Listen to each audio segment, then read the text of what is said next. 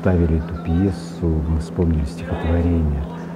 Каждый выбирает по себе, женщину, религию, дорогу, дьяволу, служителю, пророку, каждый выбирает по себе. Ну вот интересно, куда обращен балкон? На черемушки или на чертявушки?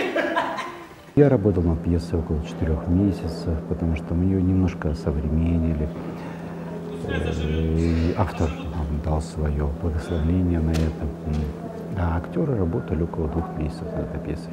Я ведь хочу, чтобы моя квартира была в море. Окна, чтобы выходили на бухту. Да. А из спальни ясно просматривалось Лебединое озеро. Команда у нас подобралась очень-очень хорошая, очень сплоченная. Но в основном, конечно, это молодежь. Мы выделили квартиру для вашего института. Изюминка – это вот именно выбор. Выбор между добром и злом. Потому что мы каждый день с вами делаем выбор. Каждый день мы его совершаем. И, вот, и наши актеры тоже совершают, наши персонажи совершают этот выбор.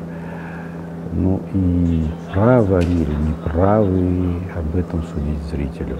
Основании жалуете? А что вы заявление, вы бы сразу дали квартиру? Было бы основание жаловаться. А нарушение черемушки.